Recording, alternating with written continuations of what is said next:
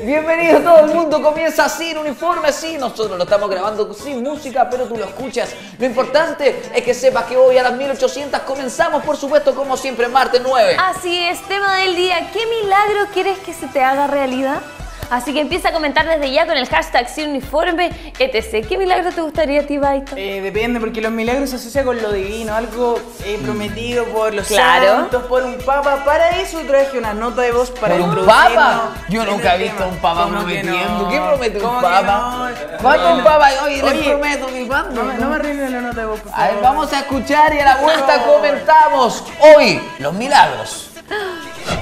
Han inspirado a guionistas de exitosas películas e incluso están manifestándose desde la antigüedad solo famosos milagros atribuidos a la intervención divina.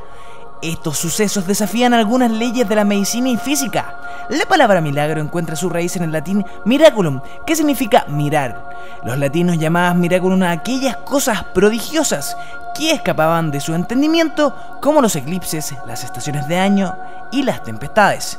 El filósofo Karl Popper argumentó que los milagros, entendidos como una intervención en el universo de una entidad todopoderosa superior al propio universo, no pueden ser estudiados por el método científico.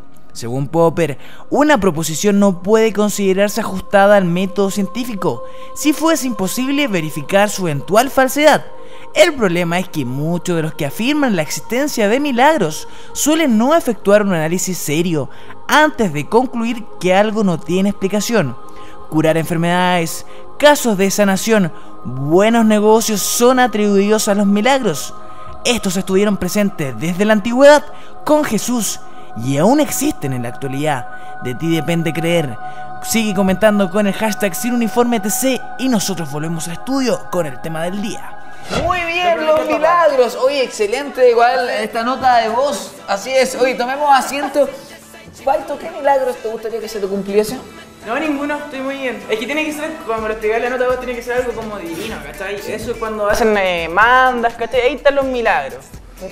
Tú, A mí me gustaría que Carol bailara bien. Eso Ah, me gustaría, ese milagro me gustaría que se yo- cumpliera. Yo bailo bien, mira mi. mi Pasa el mi paso, paso, paso, Wolf. Mira, ey, ey. No, no. Oye, a mí, por ejemplo, un milagro que me gustaría, porque, y lo separo, porque hay mucha gente que los está confundiendo, ojo, la gente en Twitter está confundiendo milagro con sueños. Claro. Yo los sueños eh, los tengo para cumplir. Claro. Un milagro es algo que quizás no se pueda cumplir. Como por ejemplo a mí me gustaría que eh, reviviese mi abuelito. Me gustaría que mi tata estuviese vivo para poder compartir con él. Eso sería un milagro imposible. Sí. Bye. un poco difícil. No, no, por eso decía es que, es que tiene que ver más con, como con, lo, con lo celestial, ¿cachai?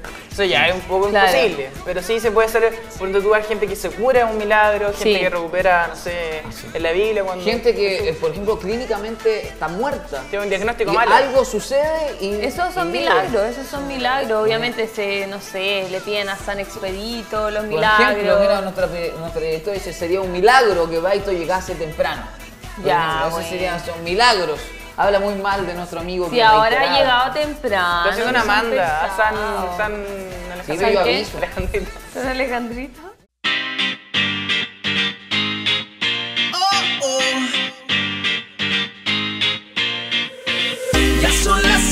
No matter